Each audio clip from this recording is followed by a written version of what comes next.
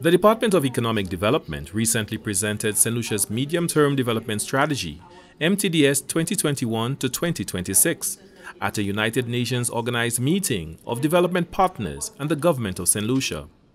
The MTDS is the output of extensive stakeholder consultations with the public and private sectors, NGOs and civil society organizations who interrogated St. Lucia's developmental issues and proposed solutions.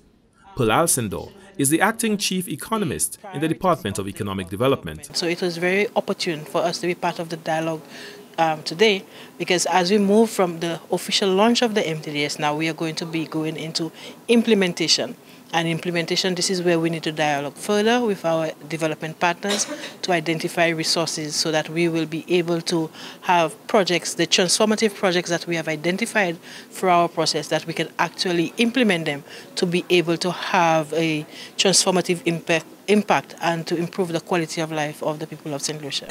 Development partners work bilaterally with government, providing support and aid in various areas.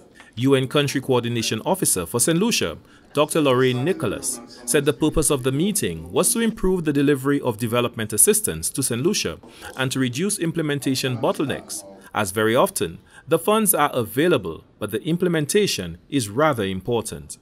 So today we have a number of development partners joining us in person as well as virtually. We have Japan, we have the EU, we have the UK, we have the OAS, we have ICA, we have the World Bank, we have the CDB, and of course we have several United Nations agencies joining us as well.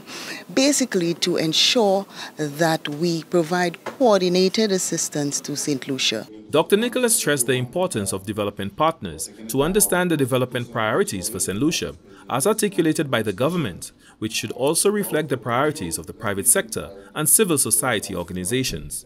Coming out of this, we would have identified where the gaps are. We now understand what each development partner is bringing to the table, and so hearing from the government what are their priorities, juxtaposing the medium term development strategy priorities with what the development partners are offering, where are the gaps? How could we work together better to provide the support to be more strategic and more impactful and more relevant for the government of St. Lucia? The MTDS lays the roadmap on how government will tackle its priority issues while building resilience to external shocks such as the COVID-19 pandemic and the Ukraine-Russia conflict. In the MTDS, one of the priority areas is to enhance um, human capital and social resilience. So somebody going through the document would be able to see an intervention that we have um, identified to address that is improving health faci facility.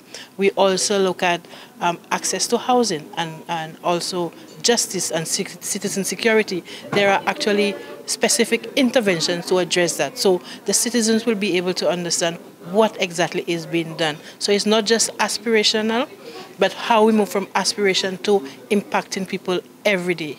The medium-term development strategy is supported by a national development framework which triggers long-range planning for how citizens would like to see St. Lucia 30 to 40 years from now.